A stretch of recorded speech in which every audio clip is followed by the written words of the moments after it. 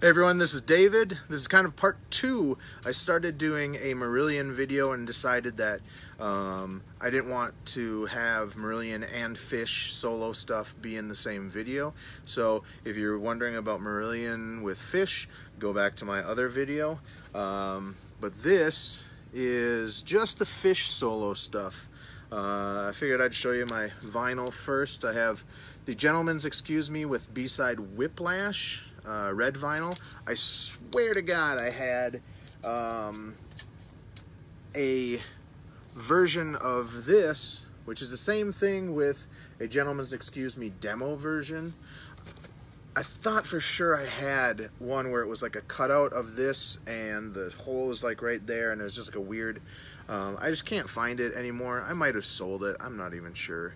Um, so these are the two those are the two singles that I had.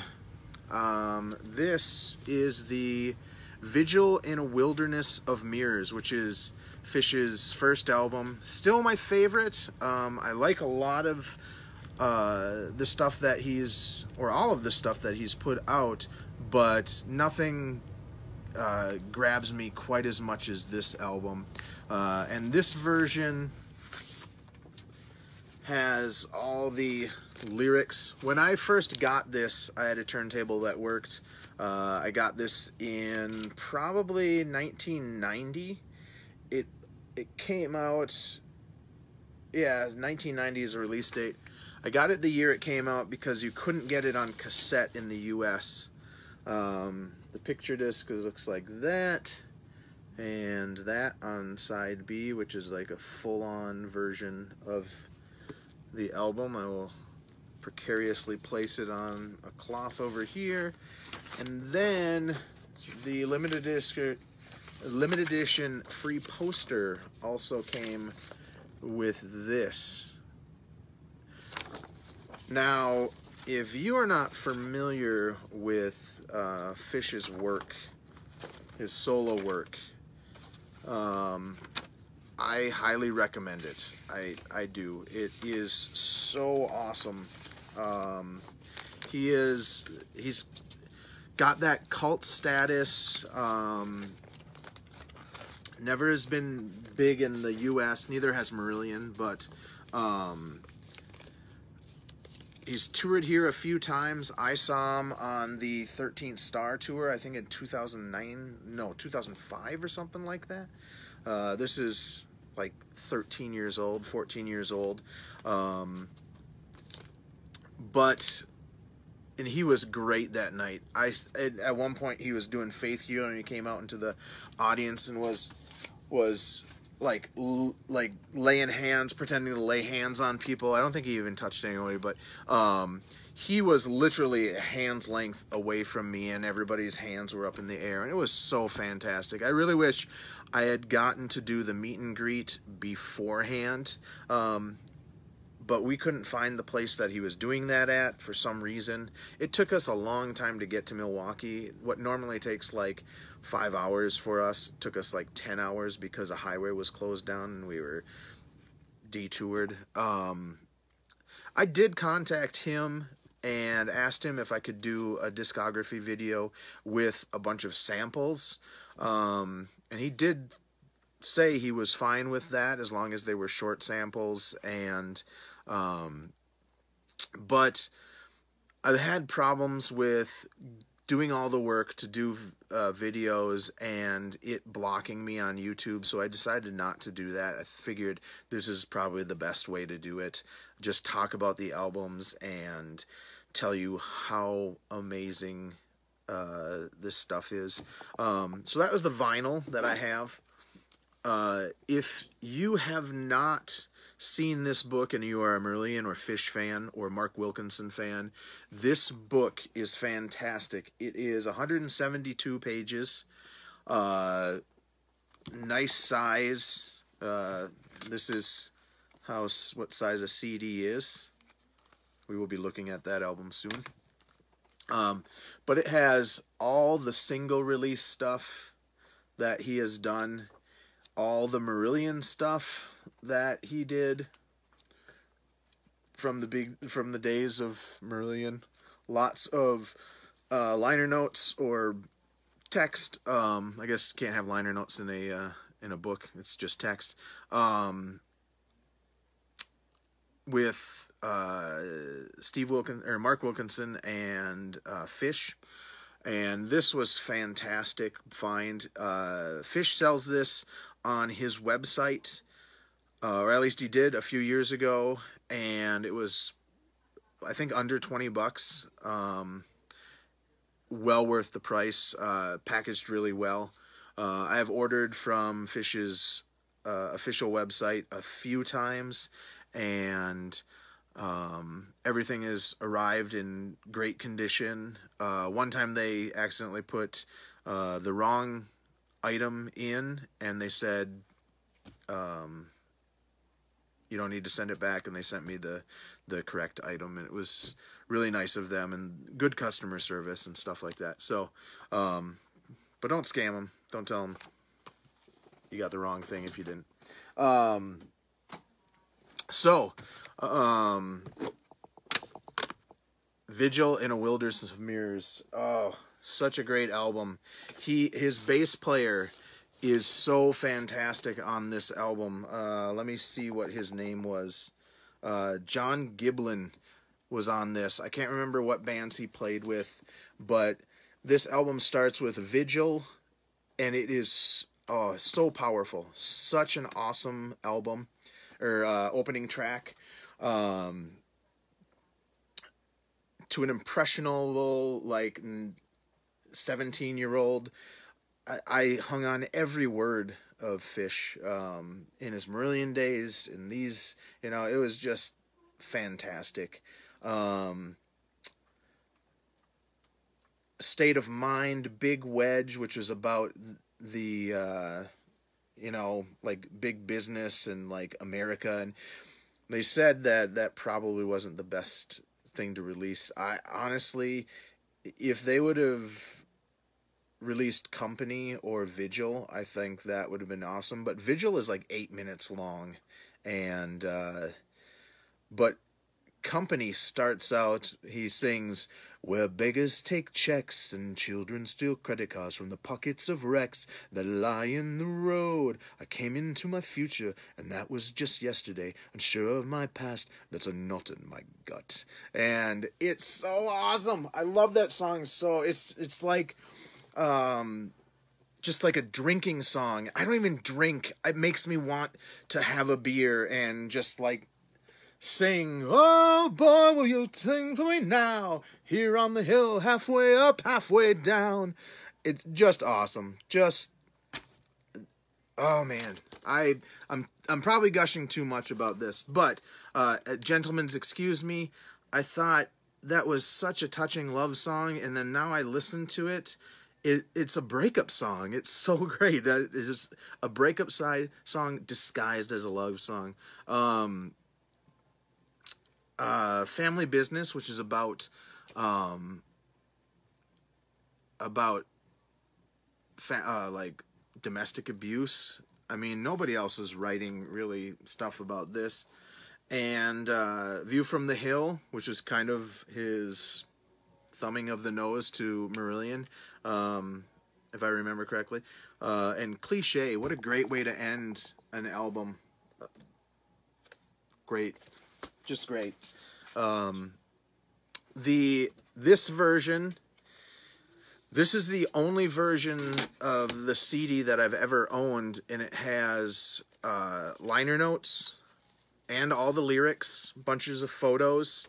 You guys know how I like to show you all this stuff. Uh, photos of the singles. Um, there's the huge poster that was in the picture disc. And uh, there are let me see what we got here. Um, a song called jack and jill which is a bonus track internal exile which ends up being the uh, title of his next album.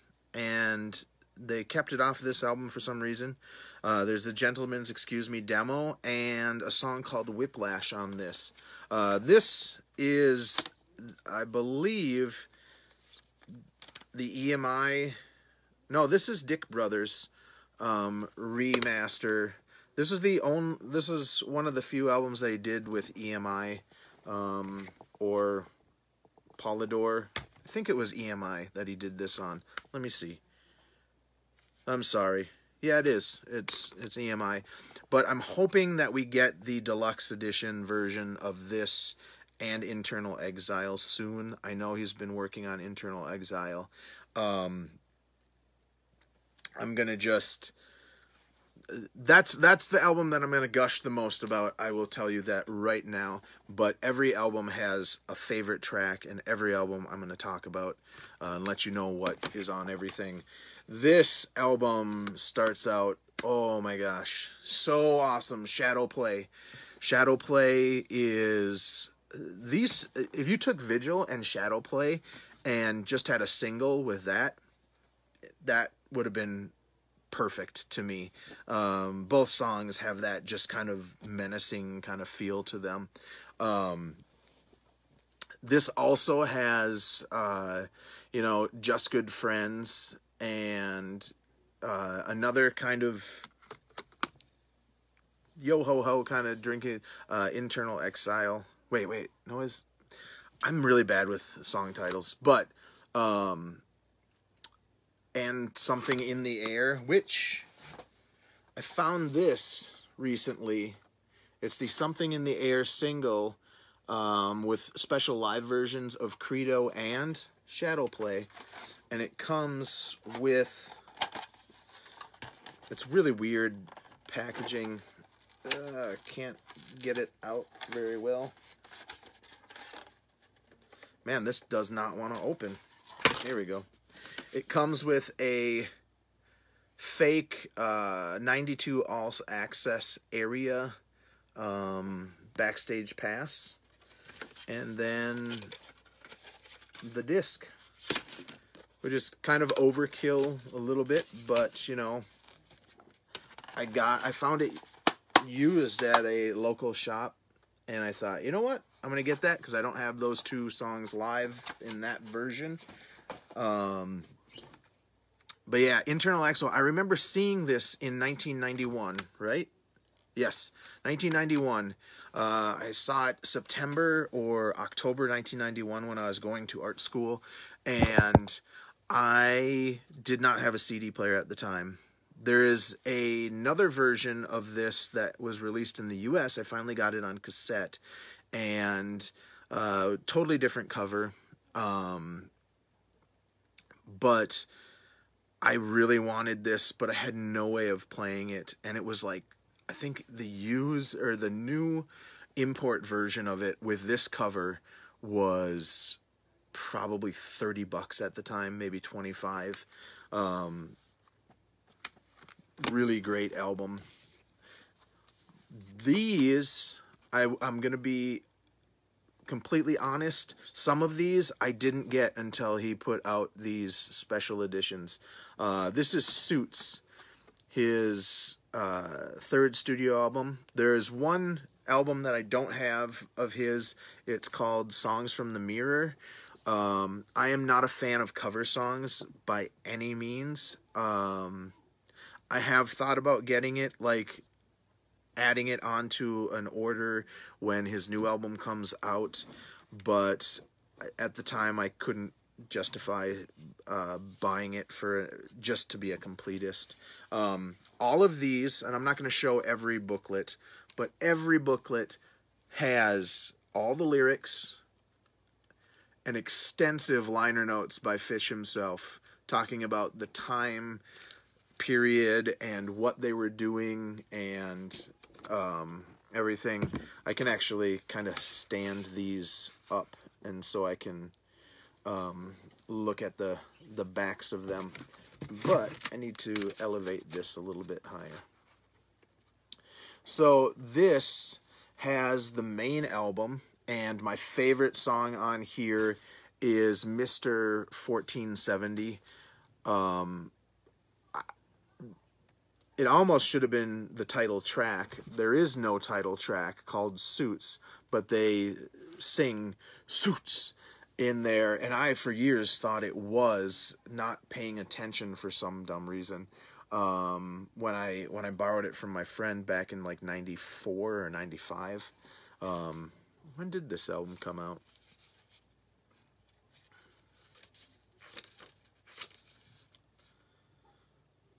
Yeah, 93 is when he starts his liner notes. So um, this also comes with uh, demos, a disc of demos, and sorry, my and a live disc. My uh, light source around here is kind of crappy, so I might have to go like this to uh, read some of these. Um, yeah, this is a great album. Um, some people criticize it for being a change in direction. Direction. I think it is one of his best ones of um, you know past the first two. Um, I don't know what people are talking about. I love the artwork too, and totally worth the price of admission.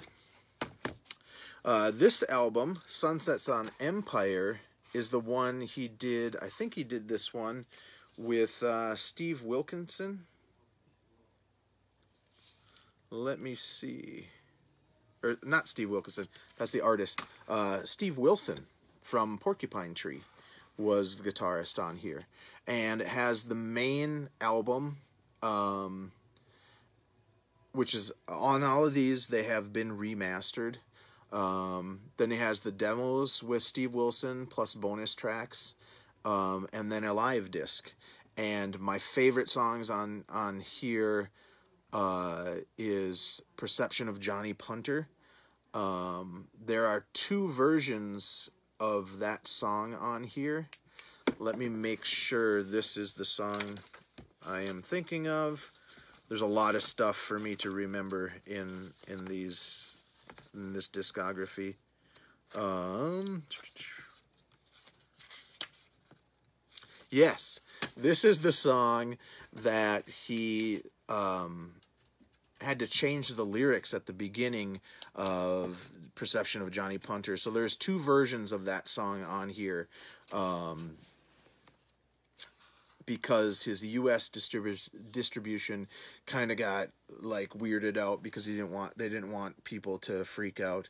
Um, he does use derogatory terms and um, but it it's in a way that is kind of describing the state of the world um, and the way people uh, think and yeah, it's it's. I mean, he doesn't. He's not doing it to be mean or or racist or anything like that. He used it in a way to describe how the world was going. Um, so you get the the edited version on disc two.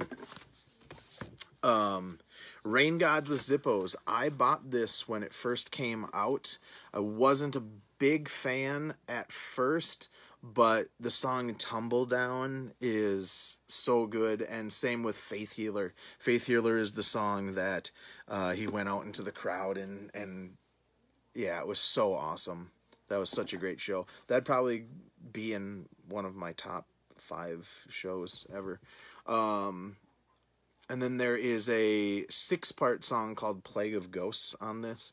Um, Disc two has Plague of Ghost variations um, and bonus tracks, and then there's uh, live bonus tracks and demos on disc three.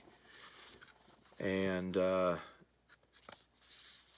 if I didn't say before, these are like in the booklet form, and these are nice because the CDs, you know, they it's it's its own little thing. So you can kind of push on it and then pull it out and then you don't get any scratches on your discs.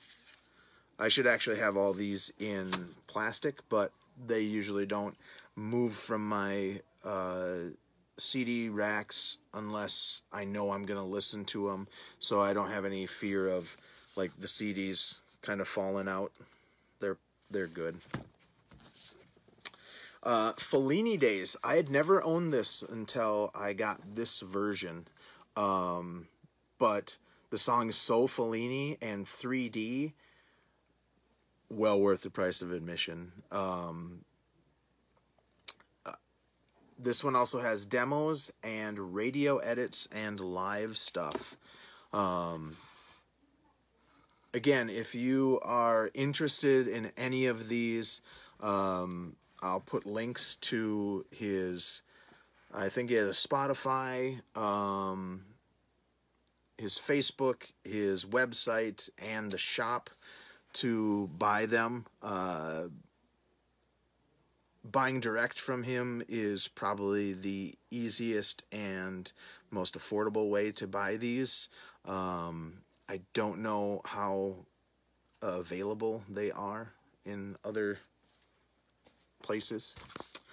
Um, this one, I remember in like 2007, my friend Woody, who I went to see this show uh, with, he lent me this and I looked for it forever and I could never find it. So I decided I'll just wait until he was done with these because I knew that these were all going to be coming out. Um, Moving Targets is fantastic, and Old Crow. Um, as I said, I'm pretty bad with titles. Um, I believe Exit Wound is another one of my favorites on here. Um, I've actually listened to this probably one of the least, um, even though I liked it a lot. Um, sometimes if I like an album a lot, I will listen to it a little less um, than the ones that I have a harder time getting into, like uh, Fellini Days, um, because I guess I would rather listen to ones that I need to absorb and really get into. Um, but yeah, this is fantastic. This is 13 Star. This is the album that I saw him on tour for. I'm going to put this back up. Um, he was fantastic that night that we saw him. Um, I have the extra version with the making of 13th Star, ordered direct from him. Two disc set. Um, comes with the booklet with lots of artwork. I believe. Oh, here we go. Sorry. That is what is on my t-shirt. That's an edited version of the full artwork. Um, and then this has all the lyrics in there. And you don't really need liner notes because you have a making of DVD. Uh, I would say my favorite favorite song on here is uh, Circle Line and the song Dark Star. Um, Circle Line, or no, Arc of Curve. I like Circle Line too, but Arc of the Curve is the thing that he talked about uh, his ex fiancee or whatever uh, being into fairies, and he got mad and he threw a fairy statue and he everything went in slow motion as the arc of the curve of that fairy smacking into a field behind their house or something like that. Um, yeah, he is he he is a fun storyteller if you ever see him live. And if you do decide to go see him live, you better go soon because he is retiring after this next tour. He has an album that is uh, scheduled to come out soon. Um, there's a three song EP with three songs from that that I, I have yet to get. Um, and actually, I think there's only those three songs will be on there, or two songs will be on the next album. And his um,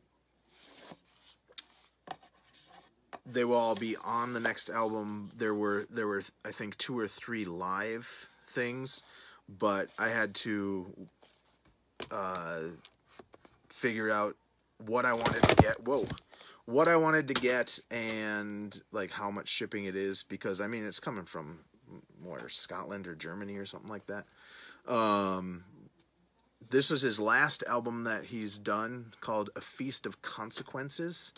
And this version, let me uh, see if I can make that stay up. That one doesn't want to stay up. Now that there's not tons of weight behind it, it'll probably stay on this. Um, this one is a huge booklet with, um, let me see exactly what's here.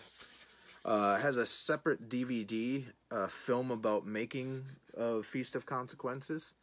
Uh, my favorite songs on here are Perfume River and Feast of Consequences. Um, oh no, Great Unraveling is awesome too. Um, this one I've listened to about half a dozen times since I got it. Um, I love all the artwork, and there's basically multiple pages for each set of lyrics with with a bunch of artwork in it. Um, also, kind of a story about where he where he got the idea from. That's like six pages of liner notes that come with this version. I'm not sure how much this was, but well worth the price of admission. There are a couple things that are live that I lent to my friend that I realize I do not have with me at this moment. I have a two or three disc set. Um, let me look at my discogs. We'll, I'll put this up because this is one of the last few things that I'm going to show. Um, so there are a few things that I don't have that are fantastic. Um, that's the nice thing with Discogs is I can just type in fish, not foch, fish.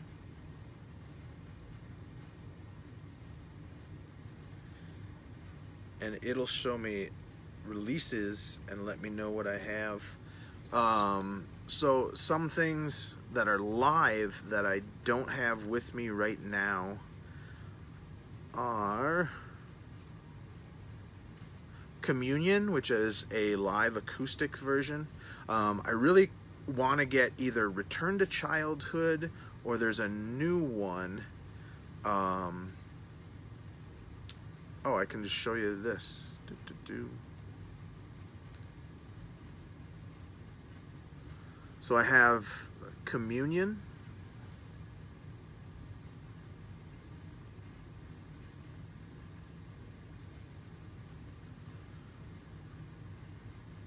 I have Leamington Spa. Oops, sorry. Wow, that really does not want to show up. Um, which is a two disc live um, set a lot of um, what do you call it? A lot of Marillion stuff. That really doesn't want to show up. Why did the first one show up fine? Um, and then I have oh, I want the Farewell to Childhood uh, two disc set with with DVD. Um, I have the Movable Feast live European tour, which is a four CD set.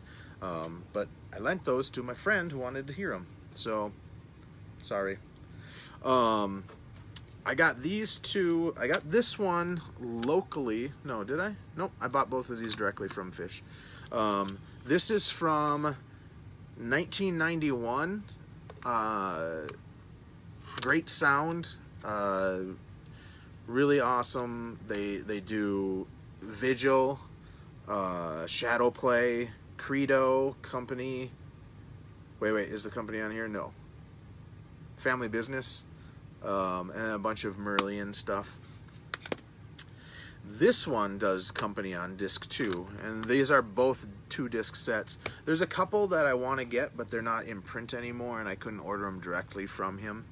Um, this was strangely enough through Road Racer at the time, and I think like the Johnny Punter uh, song, uh, the album. Um, let me see. Sunsets on Empire. I think this was originally put out by Road Racer or Road Runner, actually.